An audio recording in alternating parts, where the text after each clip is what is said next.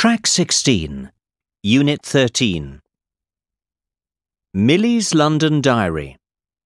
My Diary. Our visit to grandmother and grandfather in London. April 1876 by Millie Porter.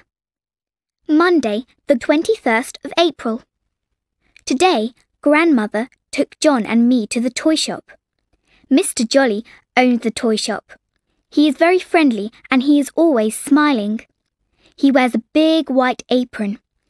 He keeps a pencil and a sharp knife in the apron pockets. He can make anything out of wood. He hums while he is working. Grandmother bought some soldiers for John. They are red and blue and they have black hats. Tuesday, the 22nd of April. This afternoon, we went to see Aunt Sarah. She lives in a big house near the park. On the way, we passed a girl selling flowers. Aunt Sarah loves books, and I do too. Today, I read some poems to her. I like reading to Aunt Sarah. She has a beautiful garden. She showed us her new pond.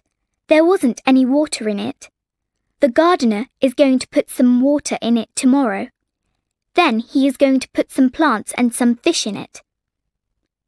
Wednesday, the 23rd of April. Grandfather's friend, Mr. Brown, came to visit today. He has twinkling eyes. He wears a long black coat and he carries a walking stick. He likes games and puzzles. He brought a puzzle for us. It was a box and some shapes. We had to fit the shapes into the box. He told us funny stories about India. He met an Indian prince once. He gave the prince a puzzle, and the prince gave him a monkey. Thursday, the 24th of April. Today, we saw the little flower girl again. She was selling her flowers near the park. She had a large basket full of yellow flowers. She often looks unhappy. She has a thin face. She was wearing an old grey coat, but she didn't have any gloves, and it was cold today.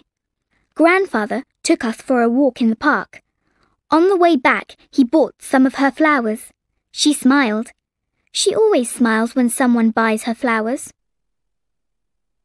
Friday, the 25th of April. A tall policeman often stands at the corner of the street. When we passed him today, he said, Good morning, in a deep, gruff voice. Sometimes he walks past the house he walks slowly with his hands behind his back and he wears big black boots. He has bushy eyebrows and a big moustache. His eyes are friendly and his cheeks are rosy red. His coat has shiny silver buttons down the front. He looks very smart.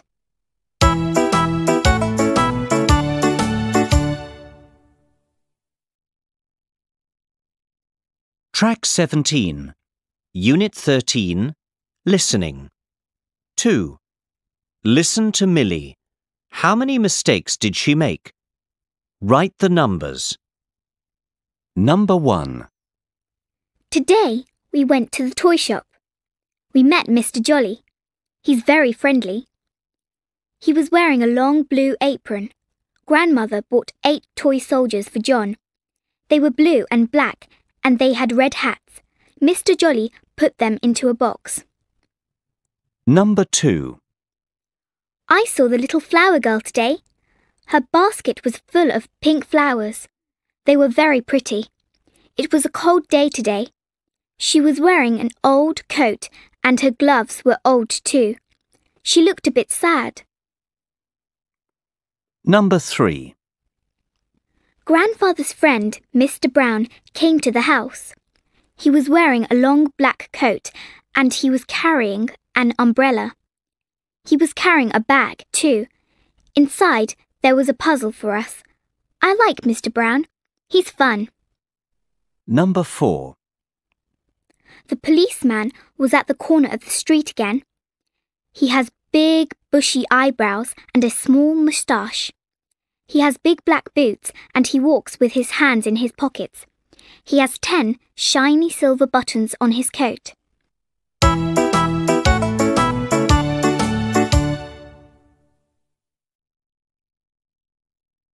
Track 18, 3. Listen again. Correct Millie's mistakes. Number 1. Today we went to the toy shop. We met Mr. Jolly. He's very friendly. He was wearing a long blue apron. Grandmother bought eight toy soldiers for John. They were blue and black, and they had red hats.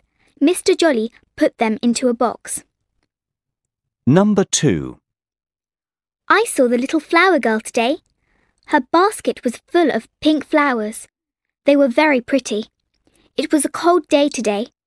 She was wearing an old coat and her gloves were old too. She looked a bit sad. Number 3. Grandfather's friend, Mr. Brown, came to the house. He was wearing a long black coat and he was carrying an umbrella. He was carrying a bag, too. Inside, there was a puzzle for us. I like Mr. Brown. He's fun. Number 4. The policeman was at the corner of the street again. He has big, bushy eyebrows and a small moustache. He has big black boots and he walks with his hands in his pockets. He has ten shiny silver buttons on his coat.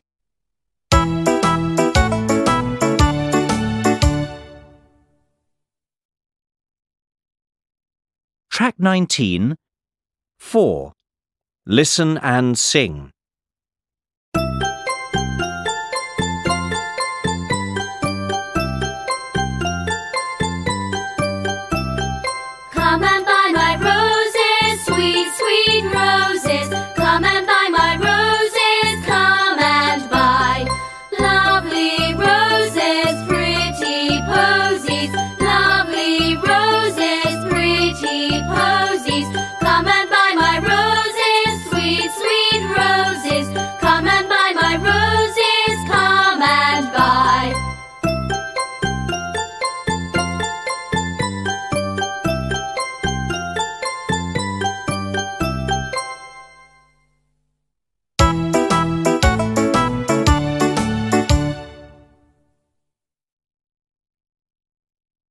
Track 20.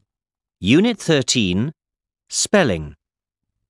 When we add un to the beginning of words, we can make opposites. The little flower girl often looks unhappy. Happy, unhappy.